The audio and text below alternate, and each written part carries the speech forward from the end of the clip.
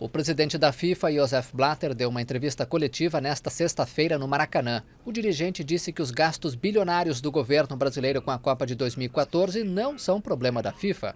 Os recursos investidos são alvos de críticas em manifestações que ocorrem em todo o país. Em muitas cidades, perto dos estádios, houve até confronto com a polícia.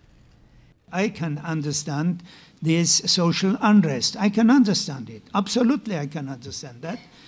Consigo entender que há agitação social, posso entender isso, com certeza entendo isso. Mas, por outro lado, o futebol vai trazer neste momento emoções e esperança, porque você tem visto a reação do governo que prometeu mudanças, mas isso não é um problema nosso, é um problema político.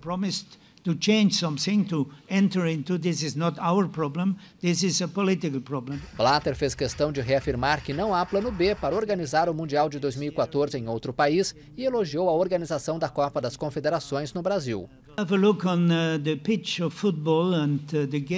Dê uma olhada nos campos e nas partidas. Uh, Tem de dizer que esta foi a melhor Copa das Confederações em termos de qualidade já organizada. Easy to say it is the best Confederations Cup in quality that we have ever organized.